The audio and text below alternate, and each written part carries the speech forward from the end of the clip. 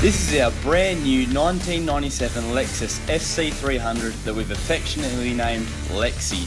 The SC300 is a luxury performance coupe that won Motor Trend's Import Car of the Year in 1992 and made Car and Driver's top 10 list from 1992 through to 1996.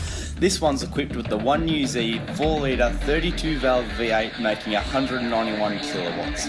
Lexi's been abandoned in the field for many years now with flaking paint and a big moss infestation, so it was only right for us to take her home. The good news is we've just made it home, and uh, the even better news, we found a trunk full of goodies. Yeah, we've got a CD stacker. We've got a CD stacker, have we? We've got um, we've got a glass suction cup thing. That's mad. Uh, You've we've got, got, a you've got a sub gym. we've got a full box of brand new coasters. I thought they were Yu-Gi-Oh cards for a sec. Well, I wish they were. but- Oh no, I thought we were going to strike it rich for a sec. We found a legit 100% genuine carbon fibre JDM. It's a JDM. JDM canard. That's awesome. Where's the other one? We've got to find the other one and sell it to someone on a Hyundai forum. I don't know if they- You're joking. Oh my good lord. Oh, it's, it's is that broken or is it just another one? Oh my god, there's like a whole set. Oh my, That's that's Phil. screw the Hyundai forum. I'm going to sell this on drift sales. That is. Nah, bugger if I know. Someone on, I don't know, Nissan180sx.com will tell us what that is. Go, Wait, that's- go. that's the other one. Don't rush it. Don't rush it. Rush. This is where the video started to go pear-shaped because my phone ran out of battery. At least Lexi could do a good skid though.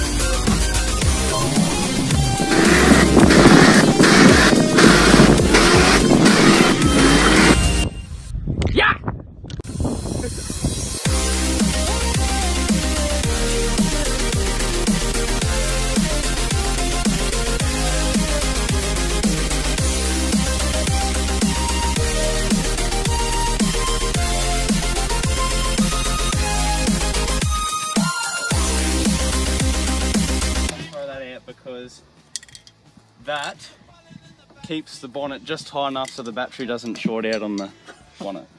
Um, now, I'm not going to zap myself on that. Right, so just just for me to be clear, Yes. you're using an aerosol can to prevent you from an electrical spark. Yes. Right. Put the battery in. Now, which one's positive? Alright, so that's positive. So we've got to put this battery in sideways because it doesn't fit. So that's got to go like that.